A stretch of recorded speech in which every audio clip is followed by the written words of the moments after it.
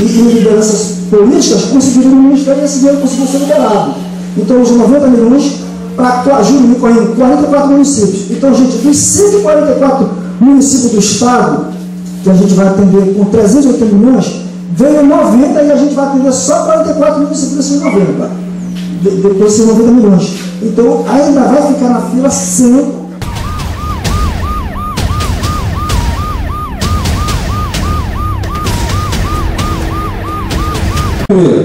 para a gente fazer uma obra na área ribeirinha, nós vamos ter que suprimir a vegetação daquela região.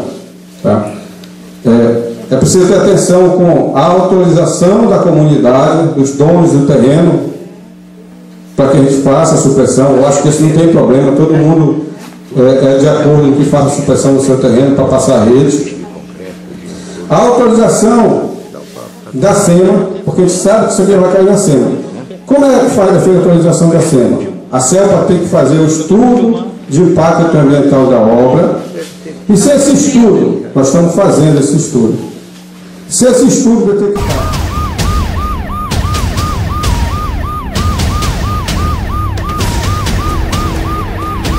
moro aqui no Marim há 70 anos.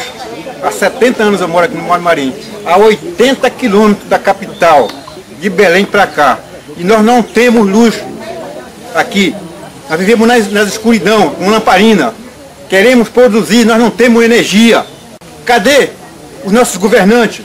Cadê esses, esses caciques que mandam no Pará há, há décadas? Nunca sai do poder. E cadê? Quando é, é época de eleição, eles estão aqui. Ah, eu vou botar energia, eu vou botar isso aqui. Bando de mentirosos. Bando de mentirosos. Já estão brigando para sentar de novo. Para continuar no governo. Entendeu? Cadê a nossa energia?